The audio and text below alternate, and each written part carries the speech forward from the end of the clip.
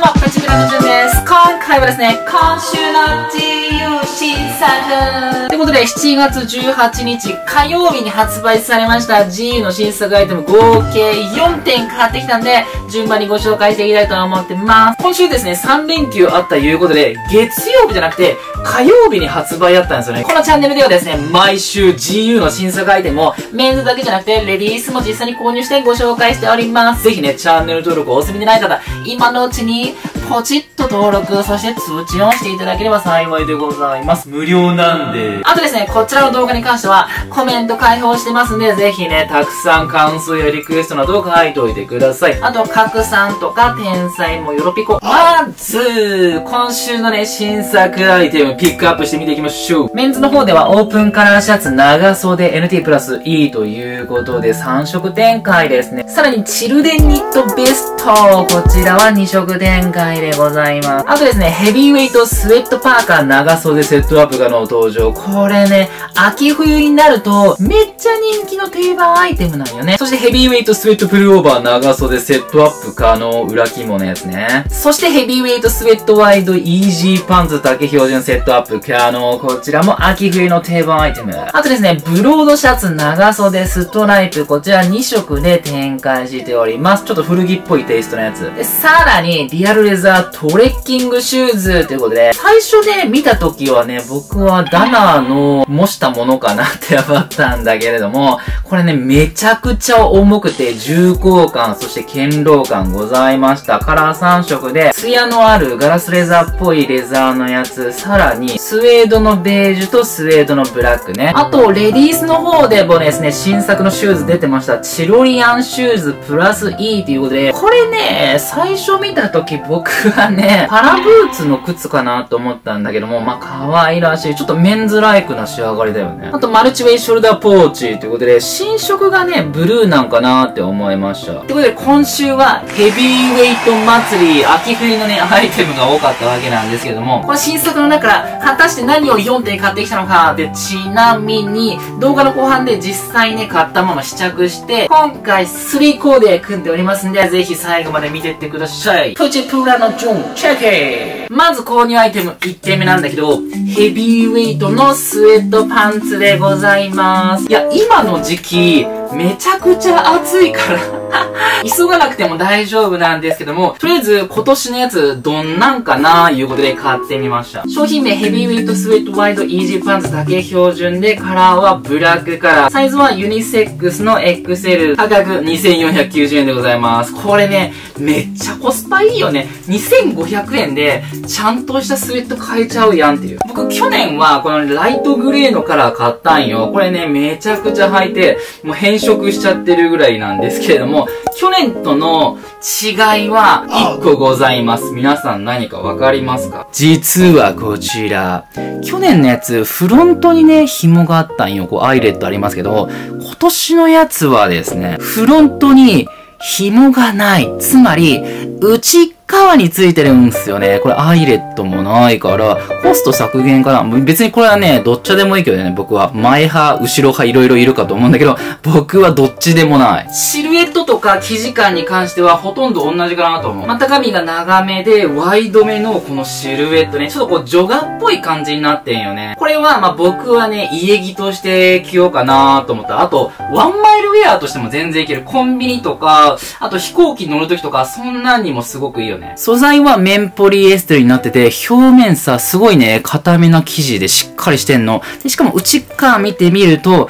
こちら、裏起毛なんですわ。超あったかいぞ。で、サイドポケットがついてあって、チャックなしでしょ。で、後ろ側見てみると、片側にこちらポケットついております。で、ズボンの裾がね、こんな感じでゴムになってます。こちら得点付けさせていただきますと、9点まあね、最高なアイテムなんだけど、やっぱちょっとカジュアルではありますよね。プチプラのジョン、チェッケー続いての購入アイテム2点目。こちらじゃじゃんヘビーウェイトのスウェット。商品名ヘビーウェイトスウェット、プルオーバー長袖セットアップ可能。カラーはブラックカラー、サイズはユニセックスの XL 価格2490円です。なんかさ、フードがついてる、そのパーカータイプもあったんだけど、どうしてもさ、フードがつくと、カジュアルになるし、寝る時とかめっちゃ邪魔になるやんか。もうそういった意味で、今年はフードがついてないやつ買ってみた。首周りすっきりですごくクールな印象になるんよね。シルエット見ていただくとめちゃくちゃいいのよ。XL でお尻結構すっぽりめで、で、身幅も余裕あるやんか。これで、ここのさ、裾のリブが緩めだから、キュッと締まってないの。ユニクロのスウェットとかってここ締まってたりするんだけど、ここ緩くて押せる。でね、腕のアームホールもめちゃくちゃワイドめで、ルーズにストリートな感じで着ることもできるわけだよね。生地に関してはね、さっきと同じで綿ポリエステル結構こう表面しっかりめな感じ、固めな感じで、めくってみると裏肝になってますますんで、めちゃめちゃあったかいと。まあ、基本的にスウェットって裏毛か裏肝の2種類なんだけれども、GU さんはね、ほんと裏肝多いよね。安いからなんかもしれないけど。で、色の展開がまた今年めちゃ多いんでね、6色展開。ライトグレーに、あとこうネズミっぽいグレーカラーに、ブラック。そして、ダークオレンジ、ダークグリーンにブルーみたいな、結構ね、おしゃれなカラフルなカラーあるわけなんよね。僕はやっぱね、ブラックかな。ブラックだったら、これ家着だけじゃなくて、外着にも使えるやん。しかも無地だから上品に大人めな感じで着れるかなって思った。こちらのスイートシャツ、特典付けさせていただきますわ。9点これも完璧なアイテムなんだけど、カジュアル要素あるんで少し下げてます。プチプラのジョン、チェックそして購入品3点目いきます。じゃじゃーんレディースのバッグ買ってきた。商品名マルチウェイショルダーポーチ。カラーは09ブラックでワンサイズ1990円です。これも定番アイテムかなと思うんだけど、初めて買ってみました。なんかいろんなカラーあって、シルバーとかもあったかな。で、ブルーとか可愛いのもあったんだけど、やっぱ男性はとりあえず、このブラックカラーよな。マルチウェイいうことで、なんか3つもあるんよ。関しては、こんな感じで iPhone を、ま、入れることができる。で、他のやつの用途が僕にはまだわからん。小銭を入れたらいいのかな。これなんかヘビっぽいテイストなんだけれども。で、この丸いやつには何を入れたらいいんですか？ちょっとわからない。まあ、鍵とか入れれんことはないけど、君たちはどう使うのか。まあ、ぶっちゃけね、これはデザイン重視かなと思って、その夏にワンツーコーデ T シャツにデニムだけみたいなシンプルなコーディネートの時に、これを首から下げると、いきなりおしゃれ、垢抜けウェイって感じなんですよね。こんな感じでショルダーっぽく使えるし、もうちょい短くして、こういう風な使い方、しょい方もできるし、めっちゃおしゃれなアイテムやった。こちら、特典付けさせていただきます9点なんかね、デザインは最強なんだけど、機能性はちょっと低いな。プチプラのジョン、チェックそしてラスト購入品4点目。じゃじゃーんストライプシャツ買ってみた。商品名、ブロードシャツ、長袖ストライプ。カラーはブルーカラーで、サイズは XL。価格2490円です。これね、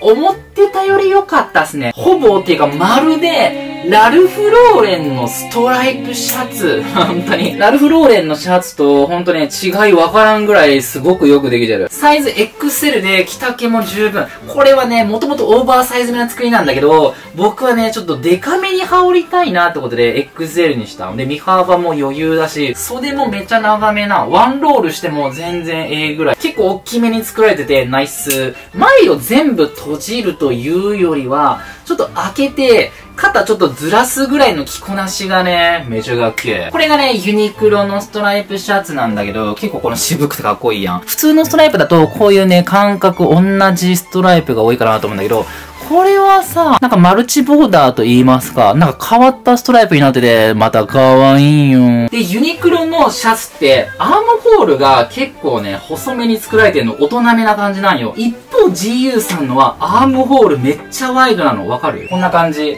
重ねるとわかりやすいっすかね。全然 GU の方がワイドめなんだよね、袖がね。そう、だからよりね、若者向けな感じ、カジュアルに着れるかなって思う。これ素材さ、皆さんわかる？